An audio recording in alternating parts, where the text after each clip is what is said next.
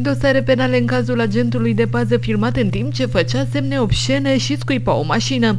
Polițiștii s-au autosesizat și fac cercetări în cazul agentului de pază care a fost filmat lovind cu pumnul și scuipând un autoturism și făcând semne obscene spre șoferi. Incidentul a avut loc ieri după masă la intrare în Feldioara dinspre Brașov, unde traficul se desfășoară îngreunat din cauza unor lucrări. Agentul de pază era însoțit de colegi deplasându-se cu mașina de serviciu când s-a iscat conflictul în trafic. În urma vizualizării imaginilor apărute în mediul online, polițiști din cadrul Serviciului Ordine Publică Brașov s-au sesizat din oficiu și au întocmit dosar penal în care efectuează cercetări sub aspectul săvârșirii infracțiunii de purtare abuzivă.